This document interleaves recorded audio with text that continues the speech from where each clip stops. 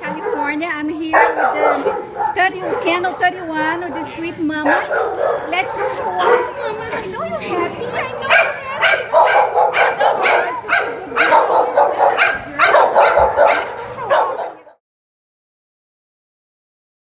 California. We're walking here with the sweet mamas.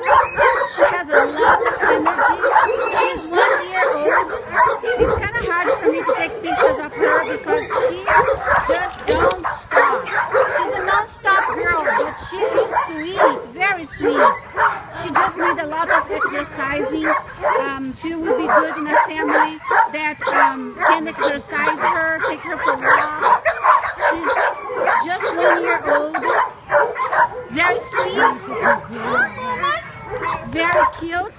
How she's doing to the candles when you walk her? She has no reaction. She had a little that was going to eat her in this home. Oh, really? And she didn't do anything. All right. She just want to get out of here. She's stuck in the candle. She can't wait to go to the exit. She looks outside all the time.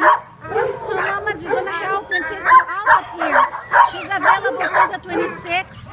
So she's very, very urgent. If she can make to the weekends, please, someone can come here Tuesday morning and get this girl.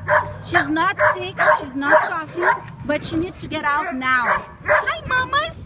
Okay, she's in San Bernardino Shelter, California, 909-384-1305, uh, 1304.